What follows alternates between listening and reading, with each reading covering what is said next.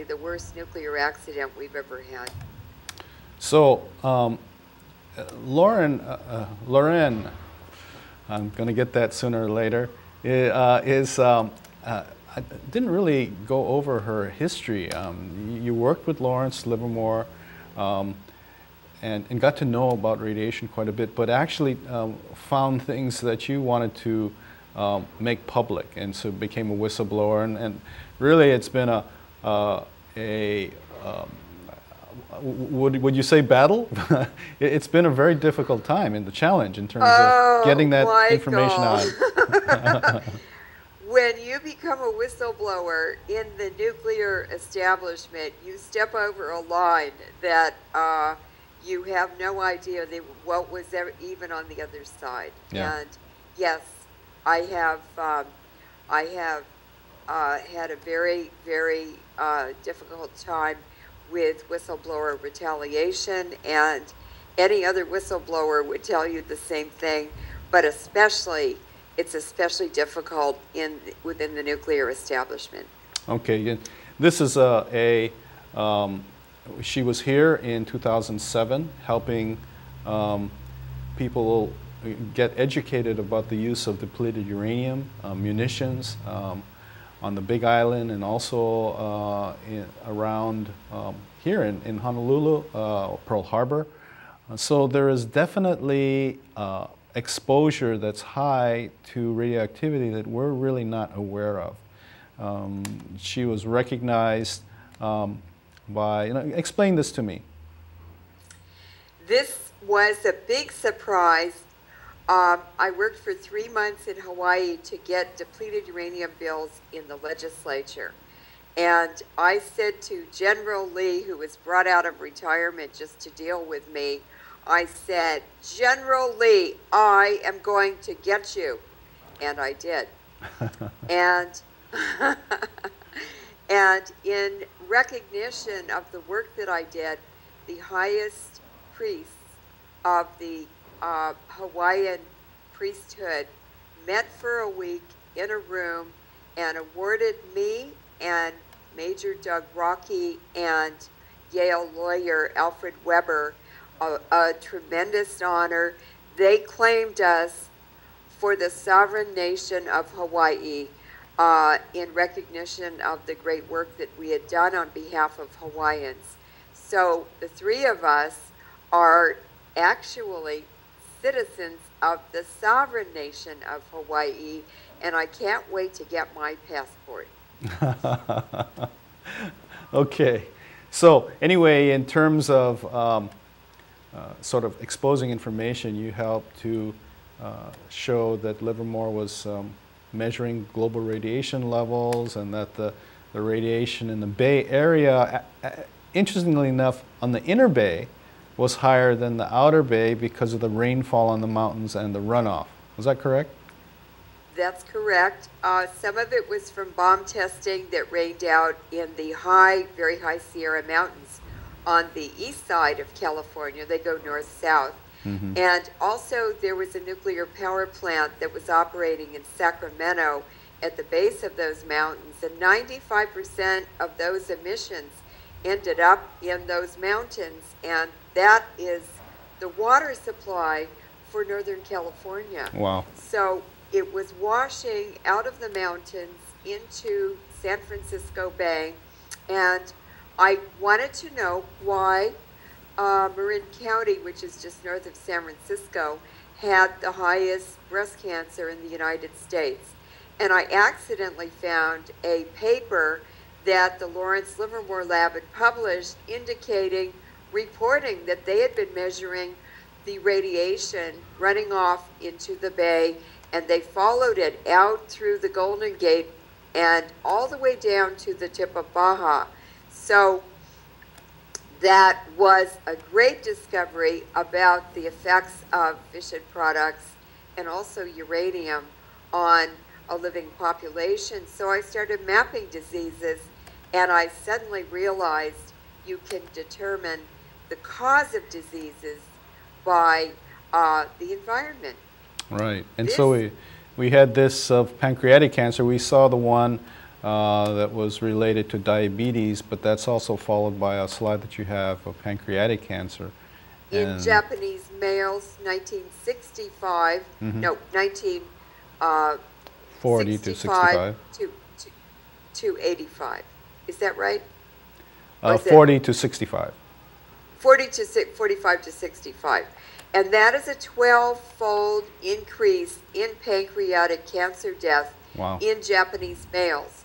And on either side of the graph, you can see uh, the, the nuclear bomb tests done by Russia, UK, and the US are also indicated. This is a uh, figure from Dr. Ernest Sternglass. Okay. Now, what I did was I got the cancer rates in Hawaii in 1963, and I wanted to compare them to the cancer rates in England, Cumbria, England, 1850 to 1860. So we're talking So- about pre-nuclear age and then post-nuclear age and how it's affected Yes. diseases. Yes, so let's look at this one. Hawaii 1963 cancer rates. Uh, 60% of the cancer rates are the in the digestive system and the respiratory system, which indicates those are pathway cancers. And that is caused by inhaling and ingesting contaminated air in food and water. And so lung cancer in Cumbria, England, before any man-made radiation was released, was very low. It was 0.17% of over 5,000 cancers that record, were recorded there in 10 years. Right. And in Hawaii, it increased to 17% of the cancers, and that is a tremendous increase of over 10,000%. Wow. Um, And and then if you look at other interesting uh, uh, increases, dramatic increases are pancreatic cancer, which was 0.15% in England in 1850 to 60, but it increased to 5.8% in Hawaii by 1963. so pancreatic cancer was 0.15 here in, in England, and then Yes. in uh, on this cancer in 63 it was 5.8%. So tremendous increase. Yes, and, and that's almost a 4,000% increase. Mm-hmm. Um, prostate cancer was 0.83% in England, 1850 to 1860, but it increased to 3.6% in Hawaii by 1963. And that is a 440% increase. Um, another very dramatic increase was lymphatic cancer, 0.92% in England prior to man-made radiation being released, and it increased to 12.7% in Hawaii by 1963. That was a 1,380% increase.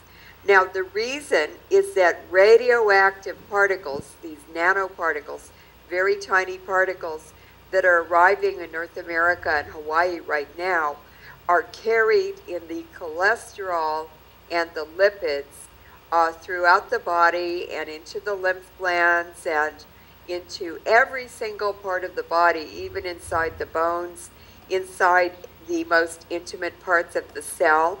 And uh, that is why cholesterol has been blamed for poor health. I mean, it's impossible for us to live without it. It's part of our bodies and, and has evolved uh, as a very necessary component.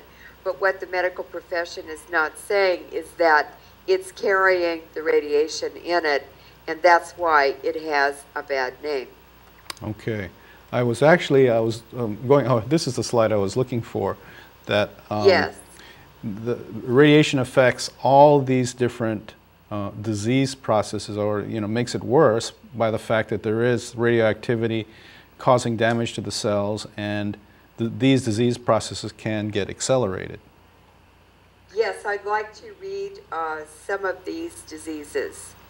Um, arteriosclerosis, hypertension, diabetes, blood illnesses, uh, chronic inflammatory diseases, rheumatoid arthritis, inflammatory bowel disease, uh, lung damage and asthma, cystic fibrosis, cancer, um, disorders of the nervous system, traumatic brain injury, Parkinson's disease, Lou Gehrig's disease, Hodgkin's disease, um, Alzheimer's disease, uh, uh, other neurodegenerative diseases like Down syndrome and multiple sclerosis, Huntington's, Friedreich's, tardive dyskinesia, prion diseases, and it also damages the immune system and promotes HIV infection and mycopla- mycoplasma. So um, these are diseases related to free radicals, and it's from a book called Free Radicals in Biology and Medicine by Oxford University Press. And this is a two inch thick book. It's in the fourth edition now, and it's a very, very excellent um, book for medical people, but also uh, just lay people can understand it too. Okay, now we've got Yeah. just a, a couple minutes for this show. Now, because um, this show has, I mean, the information is, is quite wide ranging, um, we're going to do this in two parts. So, um, we're going to just do a few more topics here and then wind up. Again, we have less than two minutes. Um, but I, um, I would encourage you to tune in to the next show, and I'll probably schedule these um, alternate, alternately so you can see one and then the other. Um, be sure and also to tune in. You can Google once a show is broadcast. You can Google um, Olelo Net, um, and which is a online service that Olelo has, where you can actually see the shows um, online. You can Google again if you see this slide on the top of this slide. Um, you can Google OleloNet on demand right here, and then search for Deadly Rain. Um, so this OleloNet on demand will, will when you search for the show, it'll come up, and you can see these shows uh, up to four months after the time it's been um, discussed. In any case, um, we've just actually now got just a minute left. Um, the, the last slide that I was on was related to um, the uh, Iraq War, and, and this was related to depleted uranium, the use of depleted uranium, and the problems created uh, not only for veterans coming back, but you know, of all the people who live in those countries, these are things that will go on for many years. Um, All the bombing and gutter, guttery ranges in Hawaii are contaminated with depleted uranium. So there must be a lot of Gulf War syndrome in the Hawaiian population. And Kaho'olawe is the most contaminated place in Hawaii. Okay, we've got 10 seconds left. Thank you, uh, Leuren. Um, we will have you on the next show, and I appreciate um, the help of the people at Pololo Alelo. Aloha. Yes, thank you.